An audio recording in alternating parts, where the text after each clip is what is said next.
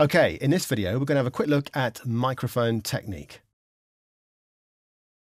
Okay, so we've got our microphone here. Now, this is a large diaphragm studio condenser type microphone. This one here is a Neumann uh, U87. Now, this microphone has a choice of pickup pattern, and at the moment it's set to what they call cardioid. So at the moment, this microphone is picking up the sound in a sort of heart shape in front of the microphone here like that.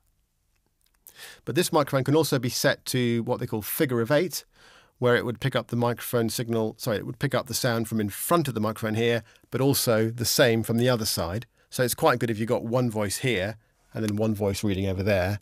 Um, and it can also be set to omni, where it would record the sound all the way around the microphone. So quite good for a sort of group uh, recording.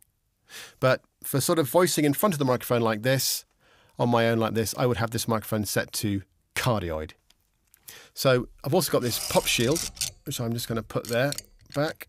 Now this is to stop the um, plosives when you say words like popping. If you put your hand in front of your mouth like we did before and say popping, you can feel that blast of air, and that's to stop that blast of air hitting the diaphragm and make and, and ruining the recording. So I have this pop shield about an inch and a half, two inches off the microphone, but it's not critical. Um, whatever works for you. Okay, so then there's the question of where do we position ourselves to voice? Do we go here? Is it here? Is it here? Well, one way to look at it is to think of the diaphragm inside this microphone as someone's ear. So, for example, if you wanted to be more intense, more intimate, um, you could imagine yourself sort of whispering something in someone's ear. You would speak in a, in a sort of quieter voice, um, in a very controlled fashion. So, for example, something like, um, I can't believe what they're doing over there.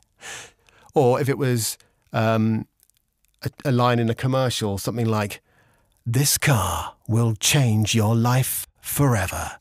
Now, when you get this close to the mic, you have to bear in mind that it becomes much, much more sensitive to any changes in volume and tone. So you have to be careful that you don't blast, as they say, and distort the signal. So you have to control your voice. So you in a way, you're speaking in a quieter voice, but there's more intensity. Um, and also, you have to bear in mind that when you're this close, that the microphone is more sensitive to any movements in your head. So if you move your head laterally and you quite quickly come off axis, and then the microphone won't be picking you up.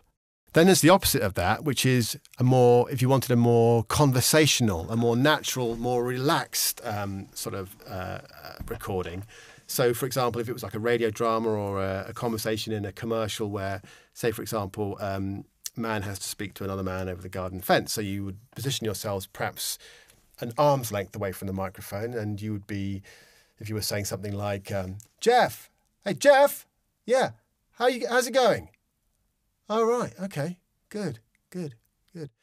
And then at this sort of length, the microphone is much less sensitive to movements in your head. It's much less sensitive to changes in volume and tone. Um, so you get a, it's a much more natural feel to move away from the microphone. If you try and do that same sort of script right up here, it's never going to sound sound right. But then there's everything else in between. But for sort of commercials and corporate type reads, I tend to be, um, you know, straight reads. I tend to be about, I don't know, six, eight, ten inches off the microphone, that sort of area, around about here. But it's different for everyone. Depends on your mic, depends on your voicing technique and your voice. Um, um, it's just worth experimenting and finding the um, the place that suits you. And it's also worth experimenting with those other positions to see what the effect it has on the recording. So that's a bit on microphone technique. Have a have a play with it, and uh, I'll see you on the next video.